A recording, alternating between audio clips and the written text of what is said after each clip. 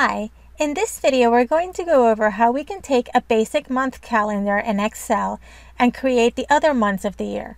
We'll also create a conditional format to highlight for us the current day. You can follow along with your own calendar or to create the one that we're going to use, please take a look at my video on how to create a calendar in Excel. On our screen is a basic month calendar in Excel. If you're wondering, I'm in page layout view.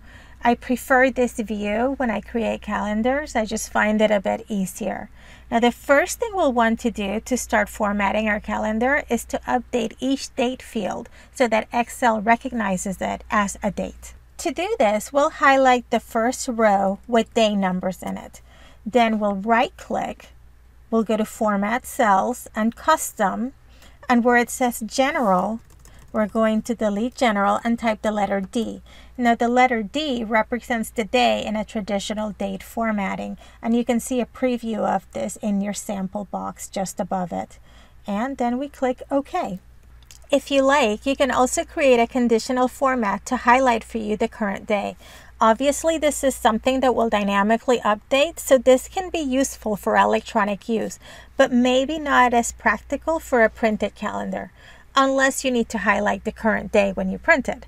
So we'll add a conditional format to these cells by going to the Home tab, which we're in, and going to Conditional Formatting. From Highlight Cell Rules, you'll want to choose equals to. And where it says 4, we actually want to delete that, and we'll say equals today and open and close parentheses. And then this will highlight the current day with the formatting that you've selected. Now I'm happy with the light red fill with dark text, but you can change this um, to what you like. So we'll click OK. And now this is formatted. Now today is not a day in the first week of January, so we're not going to see this yet. But we will see this later on as we build out our calendar. Now before we do anything else, we need to update our date. Now when we started this, these numbers were just numbers and we went back and formatted them as dates. So this first date defaulted to the year 1900, which we know it is not. So we're going to be creating a 2017 calendar. So we'll change this to 1-1-2017 and these other dates already have a formula in them to just add plus one. So they should auto update. Now, once we've done this, this row is already formatted in the date format that we want with the conditional format that we want it to have. Below it, we still need to update this formatting. So we'll highlight this first row and still in the Home tab, we'll click on Format Painter and then we'll simply paste this format to the other row dates in our calendar. Now, even though January only has 31 days, we're actually going to update this last week of the calendar, even though it's empty, because we want this to be a calendar that we can copy over and reuse for other months in this year.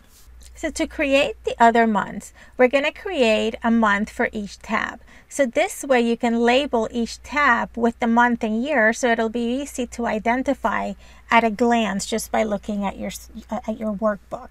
And then you can also use the tab name as your header at the top of each month by doing it this way.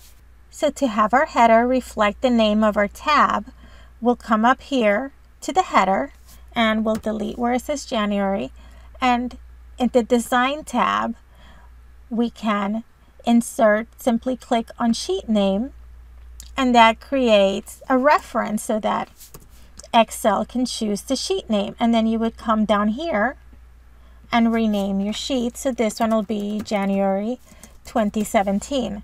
Now we were able to do it this way because we're in, in page layout view. Now if you're in any other view, you would just with your cursor anywhere in your worksheet, you would have come to the page layout tab and in print titles, you would have been able under header and footer to do the same thing.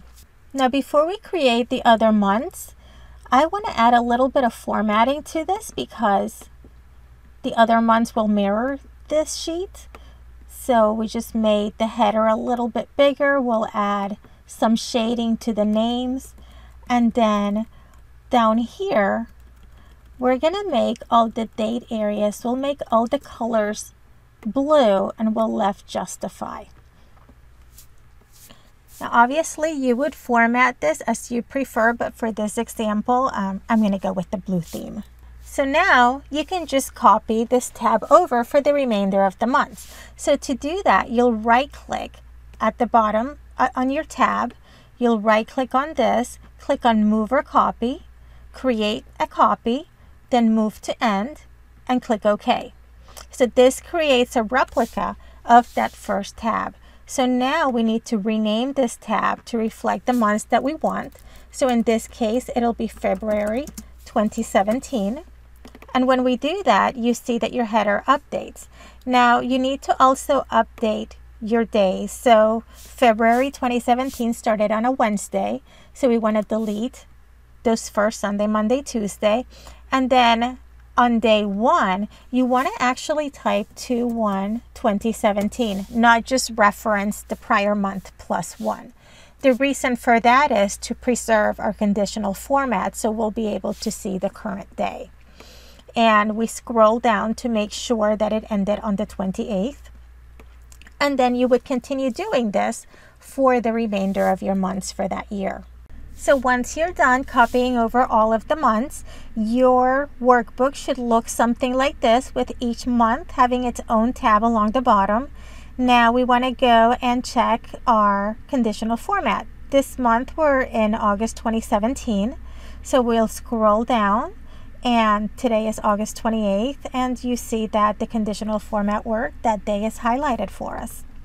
Also, don't forget if you choose to use this calendar electronically, it is fillable, so you'll be able to type in whatever tasks. So if you have a dentist, a party, whatever, uh, you can just fill it in right on your calendar. So to print these, you can either print the current tab, or if you want to print multiple tabs, you would just highlight them like I'm doing here, just control and click on the tab. And you can do this for the full year, but I've highlighted these three tabs. So if you go under your file print menu, you see by doing that, I have three months that will print together. So I hope you found this tutorial helpful to learn how to format your month calendar in Excel to create a yearly calendar. If you enjoyed it, please make sure to give it a like and don't forget to subscribe to this channel. Thanks.